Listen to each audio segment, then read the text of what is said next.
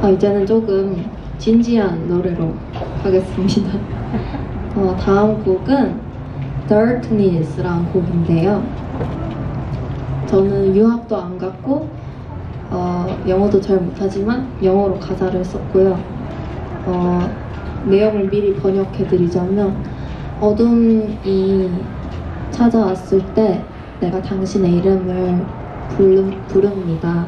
이런 노래이고 어, 이 예, 제가 예술가인데 예술을 하는 사람은 누구나 마음속에 어둠이 찾아올 때가 있는 것 같아요. 예술하지 않는 사람도 그렇겠지만 그럴 때 어, 부를 수 있는 사람이 누구에게나 한 명씩 있으면 좋겠고요.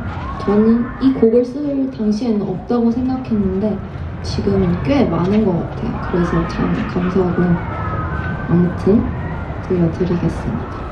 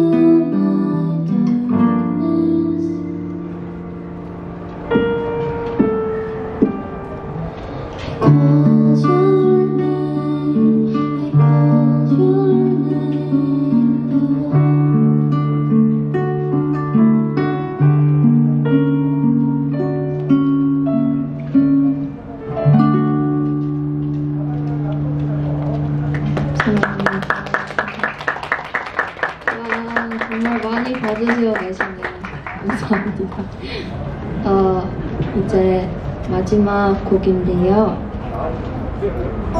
그 마지막 곡을 하기 전에 말씀드릴 것이 앵콜곡이 없는 공연이 잘 없거든요. 근데 또 앵콜을 동시다발적으로 외치는 공연은 더 없어요. 그래서 어, 그냥 그렇다고 말씀을 드렸고요.